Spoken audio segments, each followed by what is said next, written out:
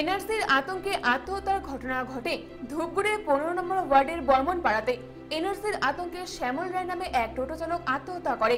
এই ঘটনার প্রতিবাদে ধূপগুড়িতে বিক্ষোভ মিছিল করল তৃণমূল যুব কংগ্রেস। এনআরসির আতঙ্কে আত্মহত্যার ঘটনা ঘটে ধূপগুড়ির পনেরো নম্বর ওয়ার্ডের বর্মন পাড়াতে শ্যামল রায় নামে এক টোটো চালক আত্মহত্যা করে।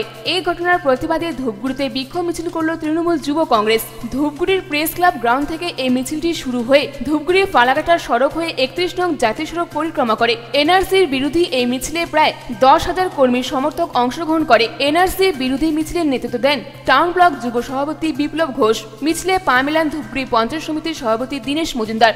পৌরসভার চেয়ারপারসন ভারতী বর্মন, পৌরসভার ভাইস চেয়ারম্যান রাজেশ কুমার সিং সহ টাউন ও গ্রামীণ নেতা নেত্রীরা মিছিল শেষে ধূপগুড়ির ফালাকাটা স্ট্যান্ডে পথসভা করা হয়। পথসভা শুরুর আগে শ্যামল রায় স্মরণে এক মিনিট নীরবতা পালন করা হয়। টাউন ব্লক যুব সভাপতি বিপ্লব ঘোষ জানান, ধূপগুড়ির পনেরো নম্বর ওয়ার্ডের বর্মন পাড়াতে শ্যামল রায় এনআরসির আতঙ্কে আত্মহত্যা করেছেন। এই এনআরসি কোনোভাবে লাগু করতে দেওয়া হবে না। তাই শ্যামল রায়ের স্মরণে প্রতিবাদ মিছিল করা হয়।